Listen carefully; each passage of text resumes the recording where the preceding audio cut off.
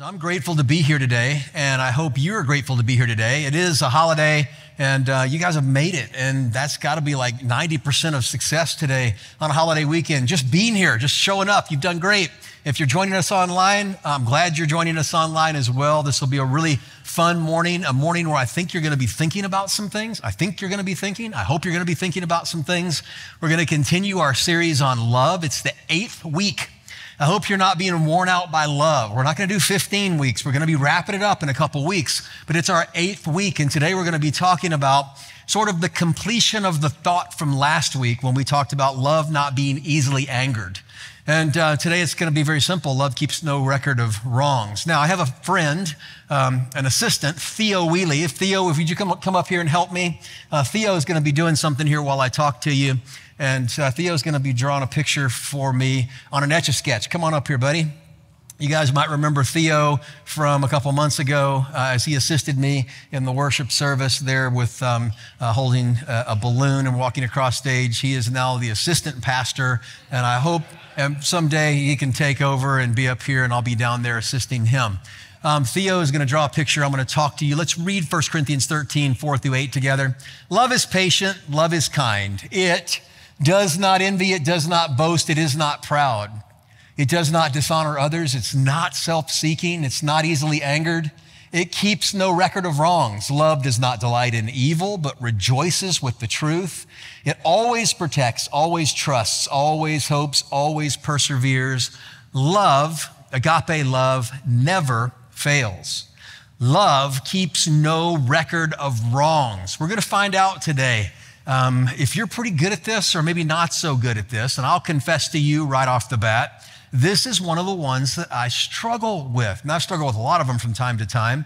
But for me, it's not the long term record of wrongs that I keep, but it's the short term you push me, I'm going to push back. You say something, I'm going to say something back. It pops up in marriage, it pops up in closest relationships. It's just being prickly like a porcupine when there's no need to be prickly at all. And it's one of the things that I want gone from my life and I want gone from your life. So let's talk about it when the Apostle Paul uses the word record, he uses it on purpose, and he said, Love keeps no record of wrongs. Now, the word record is an accounting term, and it literally means to keep track, like an accountant would keep track of your dollars and cents, your income and expense, your accounts payable, accounts receivable. And in accounting, you don't approximate. Um, philosophy, theology, and accounting don't have a lot to do with each other. They're in different buildings in, in college. And, and an accountant can be a good philosopher or theologian, but you have to think with a different side of your brain.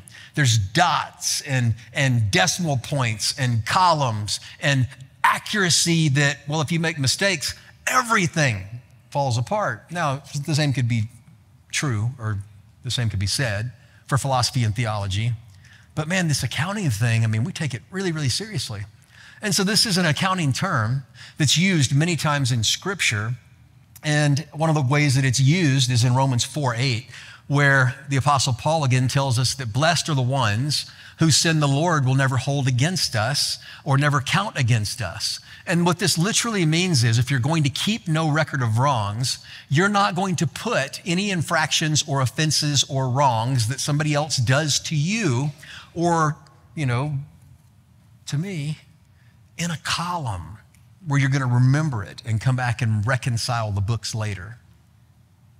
That literally, you look at the offenses or the wrongs committed to you, and you decide you don't owe me anything.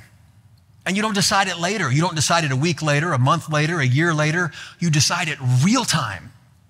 As soon as it happens, you let it go. Now, my friend here, Theo, has been making a picture. We had to teach Theo what an etch a sketch was. Do you know that um, he was like, Where do you plug it in? There's no LCD screen. Uh, and Theo's a smart kid, so he figured it out really, really quickly. Um, but Theo, you've been drawing a picture, haven't you? Hop on up here. Now, it's impossible to see the picture. We can't zoom in close enough. But you guys, if you're of any age, you know what an etch a sketch is. He's been working on a picture. And um, there is a picture, and it really happened, and it's there, and you see it.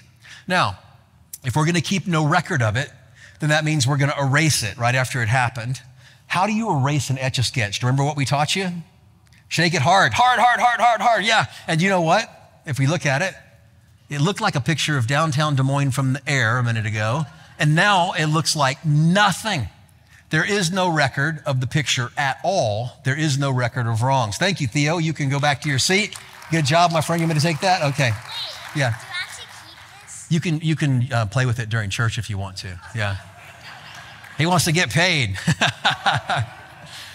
so we're going to talk a little bit um, about some instructions that the Apostle Paul has that deal with really with forgiveness because to live this way we have to make sure that we have forgiven the offenses of the past but that's really not all that we are uh, going to be talking about because you have to make sure that the offenses of the past are gone that you've forgiven them all of them and every one for you to be able to move forward and live in the moment and the future with this gift of a short memory the gift of like teflon spirit or soul, where when things happen, and I don't mean massive things that are dangerous things that are um, things that threaten your life or threaten, you know, you as a person or your family. I'm talking about insults. I'm talking about uh, debts. I'm talking about things that happen in human interaction where you're liable to retaliate, tit for tat, quid pro quo. Say something to me, I'm going to say something to you. Uh, to just be willing to let things go.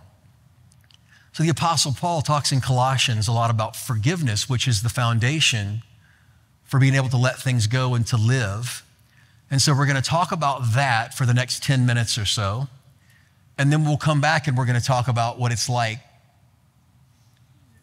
to be willing that even though offenses come, to choose not to live offended, not to try to get even, and not to keep score.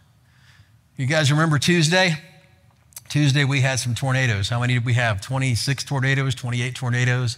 An F4 went through and destroyed, uh, you know, one of our, our towns very close to us, and people in our church were affected. We even have some in here who had massive trees down in their yard. And, and uh, I was talking to my wife, you know, about this because, um, you know, neither of us are from Iowa, and uh, neither of us of us were really raised with the tornado threat. You know, Joy was from Arkansas. They kind of had them, but not really. And I was raised in South Florida where we had hurricanes that we weren't scared of at all, which we probably should have been. And tornadoes kind of came in the hurricanes, but you didn't really think about them. It just wasn't a thing. And so Joy and I were talking, and she's like, Well, if a tornado comes, she goes, I don't know how I feel about being stuck in the basement with the house collapsed on us for five days. She goes, maybe it would be better to be dead. Now, that was very dramatic, right? But I mean, she's trying to decide whether or not she wants to be trapped or whether she wants to be dead. And I said, well, you choose. And she goes, well, I don't know. I guess being dead would probably be better. So I said, all right, we're together, ride or die. You and I, we'll just, you know, be up here on the top floor. If something comes, then, you know, we go to see Jesus. At least we're going together. I've seen that movie, Twister. You know, it'll be fine. And so the storms come. And um, Joy and I are upstairs, and you know, I'm not terribly worried because I'm watching, you know, and I know that the, they're around, but they're not like, you know, right in our backyard, Prairie Trail. You know, we're safe so far. And so I go out on the front porch and and, um, and I'm an Iowan now. I've been here seven years, and I'm recording the storm with my with my camera. And um, you know, Joy's inside, and I'm like, yeah, we're gonna together, Joy and I, you know, all the way. And so the wind is blowing, and I'm on the safe side of the house. It's blowing, blowing, blowing, blowing, blowing. The trees are laying down in the median of our road. And then all of a sudden, the trees flip back the other direction. And I'm like, uh oh, I got to get out of here because that's a bad sign. And so I go take off into the house to find Joy to go to the basement, and she's already heading downstairs. and she's got a bag. And, and I look at her, and she has two watches on my watch and her watch. She's got a bag. And, and, and she, I said, What are you doing? She goes, Well, I'm going down. I, you know, the tornado's coming. And I said, What do you have? And she goes, Well, I have some clothes because, you know, if I'm down in the basement and stuck, I want to be, you know, able to put my clothes on. And if I'm on the news, you know, I want to be able to look presentable. You've seen those people and you know, I think they get, they do, they get dressed to be on the news. It's like, and, and so shouldn't you have told me about your plan? You know, if we were together, aren't we going to go downstairs together? Were you going to leave me on the front porch and you were going to go downstairs fully clothed with my watch and your clothes and everything that she didn't want to blow away? But the point was is that she didn't know what was coming, but she did know she needed to clothe herself and she needed to be in a spot where she felt comfortable. And so she was taking her go bag, forgot her husband, but she was going to be prepared. Colossians, the Apostle Paul is writing a letter to a church that he hadn't visited by this time or about this issue, but had heard about these issues. And they were having a problem with Jesus uh, as Lord. They didn't believe Jesus was Lord. They had issues with that. And so he wrote the, this letter to them There was some conflict about which leader they were going to follow, and he's just teaching them how to relate and to react with each other. He says, Therefore, as God's chosen people, holy and dearly loved, clothe yourselves. He's saying, Put on your clothes, get your go bag, and make sure you take the right things to put on for whatever happens next, and you don't know what's going to happen next. Make sure that you put these things on because they will prepare you for the tornadoes of life to come. Clothe yourselves with compassion, with humility, with gentleness and patience. Bear with each other and forgive one another. If any of you has a grievance against someone, if any of you has a grievance against anyone, forgive them, just as the Lord forgave you. Over all these things, put on the belt of love, which binds all of it together. Love makes it make sense. and it allow you to live in perfect unity. So, first of all, we clothe ourselves with four things. We don't have a lot of time to talk about these four things, but these four things are critically important. The first thing that we put on is a heart of compassion, that we pray that God makes us compassionate and see the needs in other people. Now, at the end of our time in the second teaching session, we're going to come back to this and talk about how important it is to give the benefit of the doubt, to realize that people are entitled to have a bad day to view life through what they may be going through and not how their behavior affects me. But this heart of compassion literally means to be able to be moved with emotion by the pain and circumstances of others. Kindness, mellowing anything in me that might be harsh. That's as, uh, uh the best definition I could possibly give. Where there are harsh places in your life, where you feel prickly, where the boards need to be sanded a little bit, smooth them out, God. Put on a heart of compassion, a desire to smooth the prickly places, humility, thinking not less about yourself, but just thinking about yourself less often. Make me less preoccupied with me and more preoccupied with you. Gentleness, willing to suffer injury before always choosing to inflict it. And then finally, patience it's the word macrothumia, one of our favorites, which is patience with people. The ability to endure, not to re- seek revenge, even though we can and even though we might be really good at it. It is the choice to let it go. Now, I want to remind you, I'm not talking about things that threaten you with your life or threaten your family or things that are dangerous. The principle we're talking about from 1 Corinthians is a principle that relates to interpersonal offense, to being angry over things that might be significant, but at the end of the day aren't really that important. But the Apostle Paul is getting to the heart of this issue, and he gives us two instructions that allow us to put these things on, two assumptions that allow us to put these on. The first one is he says, bear with one another. And I think this is a really important concept. Think about your marriage. We talked last week about some of the things that you never do when you fight when you're married. One of the things you never do is you never threaten divorce. Why? Because you've made a commitment to bear with the other person, that you're going to be with the other person, that families are families and they stay together. Now, I know sometimes that doesn't happen, but it's the goal, it's the aim. And a family stays together. And when your husband or wife knows that you're going to bear together, that you're going to live together, that you're going to make allowance for the other person's faults, that when you know them, even if they're things that are, that are disappointing or things that are hurtful, that you're not going to leave. It starts with the relationships closest to you, works its way out to your children, maybe your relationship with your parents, with your coworkers, especially with a church family. And the principle here is you can't really love with one foot out the door. If one foot's out the door looking for what's better or what's next, then it makes you critical of what you have and what is. And you see the grass as being greener on the other side, but in reality, you just need to water your own yard. And the Apostle Paul says, first of all, you bear with one another, that I am in it for as long as it takes, no matter what it takes, because this is who and where God's called me to be. And then he says, forgive one another. And the way that this is worded is great because he says, you're part of them, they're part of you. And so literally it's talking about really forgiving yourselves, but it doesn't mean you're forgiving yourself. It means yourselves are part of a family. So of course you forgive because it's what Jesus has done for us. And he even says, forgive the way that the Lord Jesus Christ forgave you. Now I've done devotions for you. I've written some devotions for you guys again this week. And the first three days are going to be focused on the idea of forgiveness. Because you have to deal with the past before you can live in the present and embrace this characteristic of love where God's creating in you a heart and a desire to let things go, to not exact revenge, to not push every time somebody pushes you. And so on Monday, we're going to be talking about the idea of forgiveness and the reality that some of us just aren't there and don't want to be there. And we're going to talk through 10 things that forgiveness is not. Now, these aren't new things for you. We've talked about them before, but I'm reminding you. On Tuesday, we're going to work through a list of people in your life who you've had a hard time forgiving. And I'm going to encourage you and teach you how to pray for them. And this is, you know, going to be work. But remember when I told you in January that this was going to be a year where we grow? Where we transform, where we train to be godly. And I promise you that if you just stuck around, that if you came on Sundays, that if you leaned in a little bit and you were part of the things that going on in the church, that you were tracking with the studies, um, that I would do everything that I could possibly do. And I can't do everything, but I can do some things because I'm your pastor and I love you.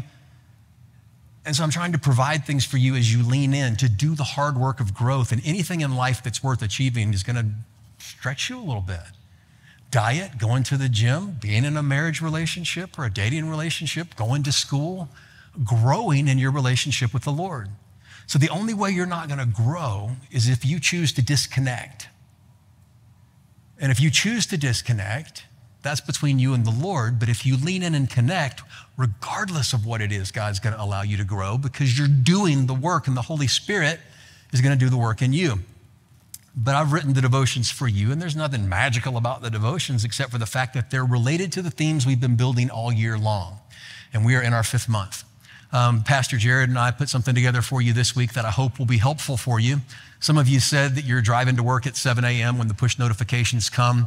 And, uh, and so I recorded, did audio recordings of each of the devotions um, this last week of the five days so that you'll have a push notification with the audio or the, the uh, printed version if you download the PDF the way that you've been downloading the PDF through social media or the QR code at the end of the service, there's a link embedded in the QRF that will take you, trying to make it as easy as possible Monday, the idea of forgiveness, and are you even interested in pursuing? Tuesday, have uh, who are the people I need to forgive still, and how can I pray for them? Wednesday, six things that will tell you whether or not you've been able to forgive or whether you haven't, whether you've truly forgiven. And then on Wednesday, I'm assuming that we're ready to really dive into this First Corinthians 13 and live with the, the commitment to let it go and so we start building Thursday and Friday these characteristics into our lives, and we're going to do it together. And it's really, really important. Above all else, put on love, clothe yourselves with love. We've been learning about love for eight weeks because love is the belt that holds all of this together.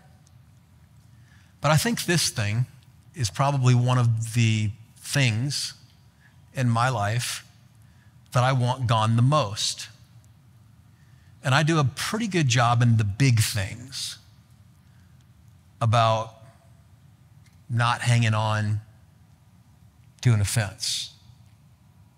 Pretty good job. I've learned over the years. But in the small things, in the little interactions in life, and the little accidental bumps with my wife, the people close to me, sometimes my reactions, well, they're really not what I want them to be. And if there's an offense, whether intended or accidental, in between the offense and your reaction, there's a gap. There's a gap in time. And on Thursday, we're going to be talking about the gap the entire day. And I've made the GAP an acronym, and it's kind of dumb, but it works for me. GASP Action Plan. When something happens, when your wife says something to you and you're like, oh, how could you tell me how to drive? Why did you tell me how to stop? I saw that truck, right? Whatever it would be. you gasp, I can't believe that she said that. Doesn't she know I know how to drive? Doesn't she know I don't run into cars all the time when she's not with me? Why does she think I'm such a bad driver? There is a gasp. And then in, in the middle, that there is an action. But the problem is, is that actions are often reactions. And reactions are caused by our hurry and our temper. Reactions are actions without a plan. The P is a plan where we prepare and pray and plan ahead of time that Jesus Christ is going to be the Lord of the gap and that we are going to forgive and keep no record of wrongs, that we're going to let grace live in the gap. And it's really hard, but it's a promise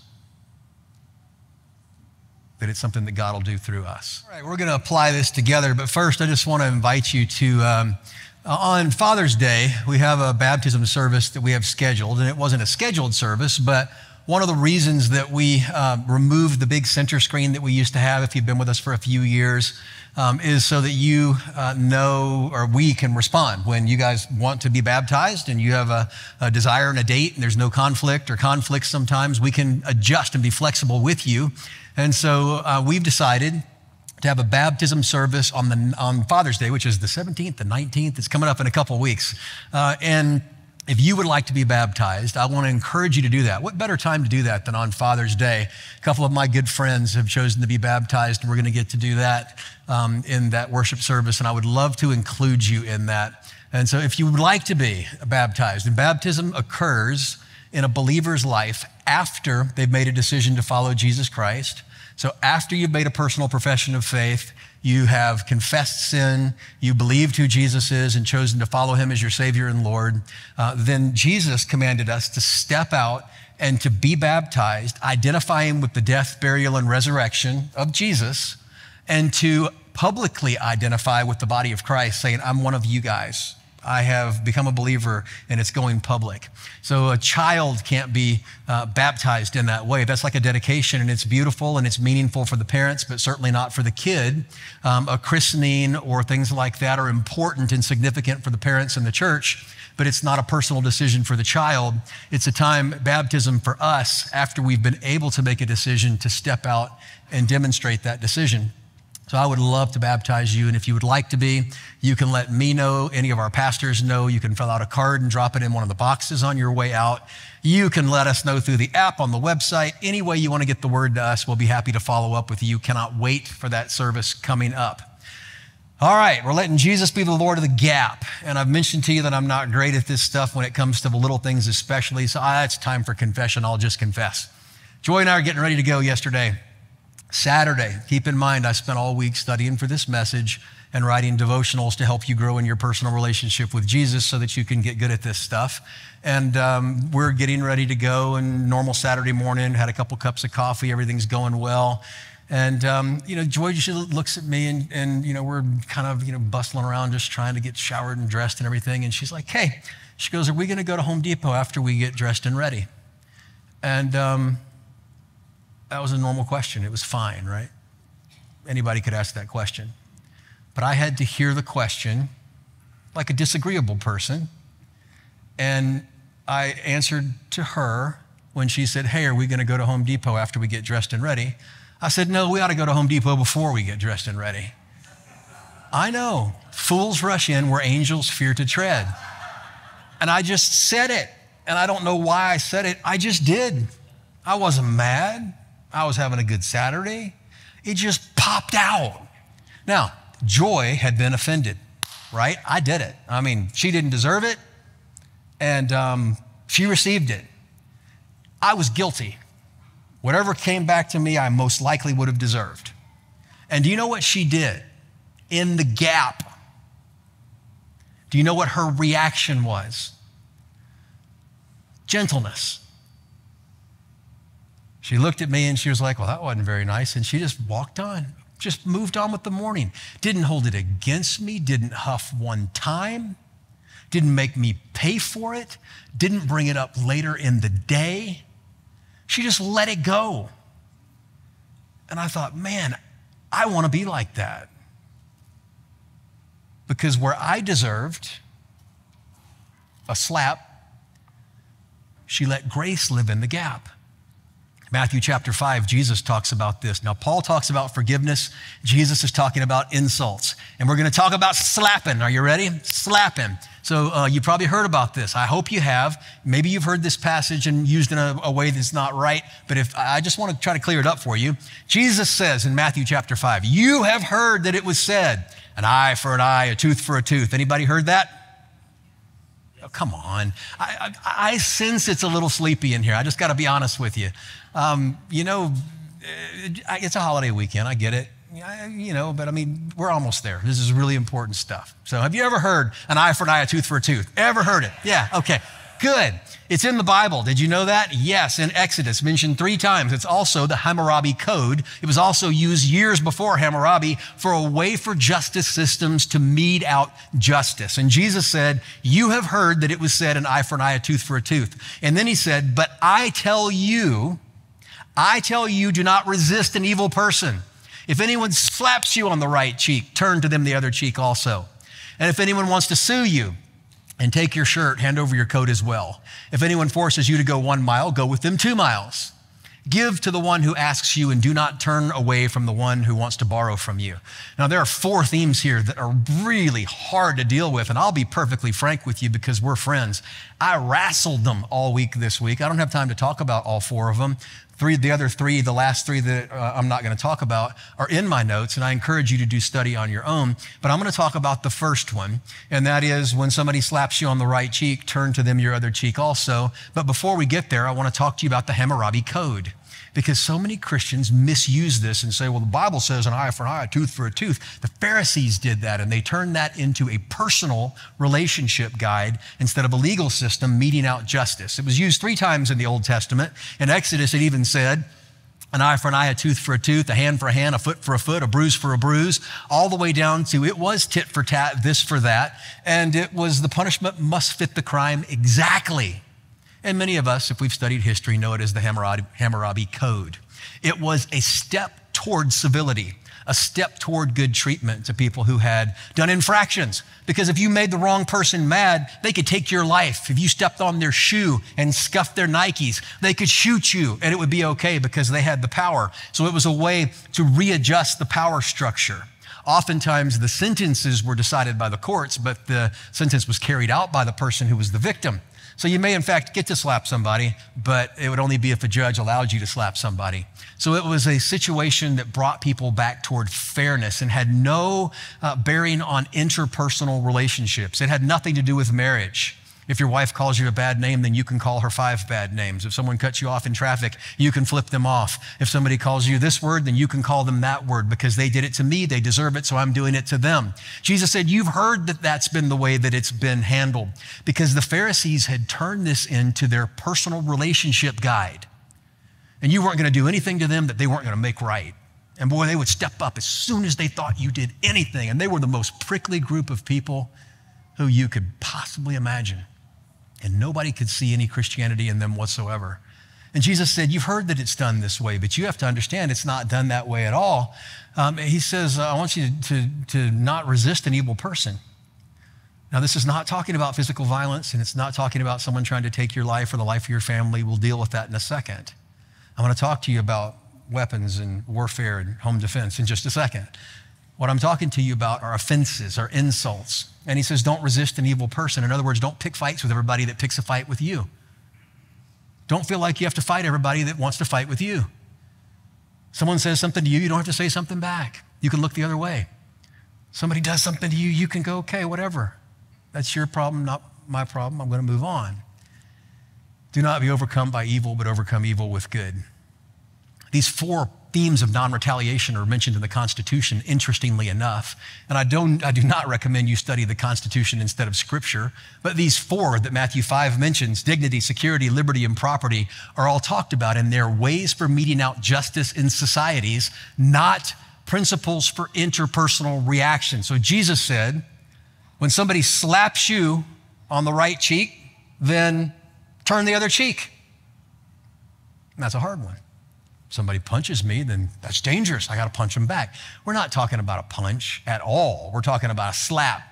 And a slap in the face in Jewish society was the most demeaning and contemptuous act that anybody could possibly do. And if you're faced off with somebody and I slap you with my right hand or punch you with my right hand, I'm going to hit you in the left cheek. And most people are right handed, and that could be aggressive. That could be something that hurts you. That could be something that requires some kind of a response. But this was a slap. If I'm slapping you on the right cheek, it would be a backhanded slap, which would have been an insult, which would have been me saying, You aren't worth my time. I'm erasing you from significance. I'm challenging your character and your integrity. It was just simply an insult. It was just an insult. Would it hurt? Maybe a little bit. Was it dangerous? No. There were slaves who said they would rather be um, beaten with a rod than slapped in the face with their master because of what it meant and how negative, difficult it was in their society.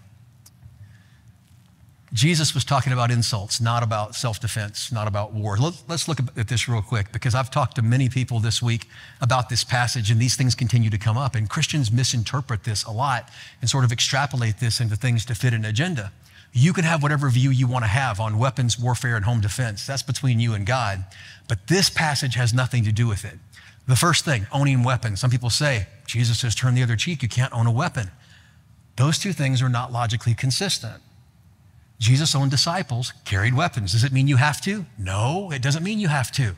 But it means you can't say nobody else can because the Bible says this, because the Bible simply doesn't. In Luke 22, Jesus said to his disciples at the time of his arrest, But now if you have a purse, take it. That makes sense. And also if you have a bag. And if you don't have a sword, sell your cloak and buy a sword. Why would Jesus say that? because he knew that there were times when swords were necessary. And he was suggesting to his disciples that they be prepared. But when are those times? I don't know. But my point is, even in the garden, when Peter whips out his sword and tries to take off Malchus's head, but cuts his ear off, Jesus didn't say, Why are you carrying a weapon? I've told you we're nonviolent. He said, If you live by the sword, you're going to die by the sword. And he healed Malchus's ear which simply means if you live a violent life, you're going to die a violent death, most likely. If you do own a weapon, I think these three things are true. One, we're called to be peacemakers if possible. We should obviously honor God with it. And we should be subject to all of the laws of our land according to Romans 13 and 1 Timothy chapter 2. That's controversial. It could be political, it's preference but it's not biblical. We sometimes make things that are preference and political biblical, and we can't do that. Number two, it's not just about owning weapons, it's certainly not about home defense. Well, if someone breaks into my house, I've heard people say this, and threatens my family, I have to turn the other cheek. Proverbs says you're a fool if you do that. And in Exodus, the principle was given. If a thief is caught breaking in at night and struck a fatal blow, the defender, the homeowner, is not guilty of the bloodshed. But if it happens during the day, the defender is guilty because they don't need to do it. It would be retribution, it would be excessive. And that was the principle that was laid out in Scripture. Don't be excessive, be fair. War, we may hate war. Nobody loves war. And nobody understands all the time why wars exist and if they even should, the ones that we fight and don't fight. But war in principle is not something that the Bible outlaws or prohibits. King David, a man after God's own heart, says, Praise be to the Lord, my rock, who trains my hands for war and my fingers for battle. Now, he also, because he had blood on his hands, wasn't allowed to build the temple. There were consequences for living that life, but it wasn't the bloodshed God asked him to be involved in. It was the stuff he chose on his own. Ecclesiastes says there's a time for everything, a season for everything under the heavens, a time to love, a time to hate, a time for war, and a time for peace. This is what Jesus was saying in Matthew chapter 5. You worry about your character, and let me worry about your reputation. Quit returning insult for insult. Quit shoving every time you're pushed. Be willing to let things go. Ask for the gift of thicker skin, a Teflon soul. Because if you are so prickly and demanding and combative that every time you're agitated, you respond with a reaction, no one will ever see Jesus in you. There is a sociological term, and I want to share it with you real quick, and something that we don't have to really make that um, complicated. It's called the fundamental attribution error. And it goes like this We excuse our actions based on our circumstances, but everyone else's actions are because they have bad character, right? So somebody does something to you, they cut you off in traffic. It's like, that person's a jerk, they're whatever, were they raised by, you know, we just all of a sudden decide they're terrible people. But when we do it, we didn't see them, or we had a bad day, or our kids were acting up, or we didn't get enough sleep, or when I smart off to my wife, right? Well, it's because I don't feel well or I have a headache. But if she smarts off to me, it's because, are you a terrible person? Did you wake up this morning with the intention of trying to destroy my day? It's, it's the fundamental attribution error. And we have to overcome that and realize that, that love gives the benefit of the doubt. That we have to choose to view life from a point of grace. You know that everybody in this room is fighting a hidden battle? That maybe one other person knows about? But most likely nobody. Every single person is fighting a hidden battle. And we have to choose to view them through the eyes of grace or the eyes of suspicion and doubt. Everyone's entitled to a bad day. I cannot tell you if you've got kids at home, one of the most important things I learned as a parent is that kids are allowed to have a bad day. They can't have terrible actions just like adults can't, but they can have a bad day. It's all right if they're having a bad day, let them have a bad day. Have a bad day with them. You don't have to drive them into submission. Wipe that look off your face. Don't give me that attitude. I mean, you got to pick your battles right, but I mean, if somebody told me to wipe that look off my face every single time I had that look, that'd be kind of tough. It's not just kids, though. Your wife's allowed to have a bad day. Your friends are allowed to have a bad day. Your staff, your coworkers. Let them have a bad day. It's okay. Be with them in their bad day and choose to live from a place of grace. Well, some people really are kind of hurtful people and they just love to hurt, but hurting people hurt people. And this is a hard one, but you have to ask yourself what in their life has happened to cause them to live from this perspective, to live this way.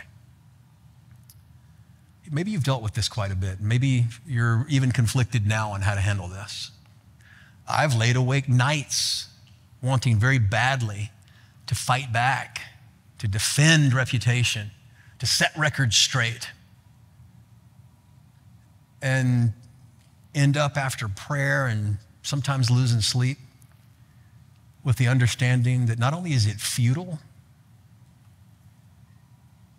but if you do it, what's lost is someone else's ability to see Christ and they have to be able to see Christ through you. So we have to choose what battles to fight. Let's sum this up going back to 1 Corinthians 13 as we're about ready to go. Love is patient, love is kind. It does not envy, it does not boast, it is not proud. It doesn't dishonor others, it's not self seeking, and it's not easily angered. And here it is for today. Love keeps no record of wrongs. The call ahead of you is so much more important than the offense behind you. So, is it behind you, and are you willing to let it go? Well, we're going to work on it all week. And there'll be a QR code behind me that you can, if you would like to, scan for the PDF for the Monday through Friday devotions. These take five minutes, it's not much time out of your day. If you have the church app downloaded, notifications turned on, it'll be pushed to your phone every morning at 7. Facebook, YouTube, all of our social media outlets, our app, our website, you can download these. Let's work through this together this week. This could be one of the most important weeks that you have had so far. Father, thank you for the time we've spent, and I pray for my friends who are here This is a really hard one. There's just something that lives deep down within us that pops up at the worst moments and shows the ugliness of the sin nature that still lurks in some of the hidden places.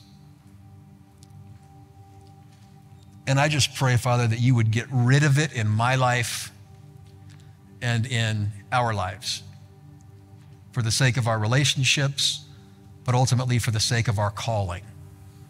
The offense behind us is just not nearly as important as the calling in front of us, our mission. And we're on mission together. So I pray for my friends. I pray that as we lean into this this week, that you would change us, that we would live differently, that you would free us, we would continue to grow in love. I pray these things with confidence in the name of Jesus. Amen.